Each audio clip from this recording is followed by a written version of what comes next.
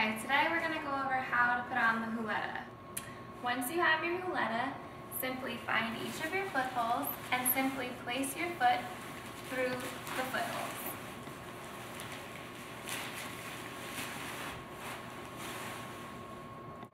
Once you have each foot through the holes, you can easily place your shoes on. Stand up. Once you have your dress safely inside the huoletta, Simply pull it shape into its natural position, and pull on the top.